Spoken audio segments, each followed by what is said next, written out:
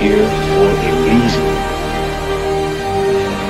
The worst thing I can do, was those powers, but I couldn't even save it.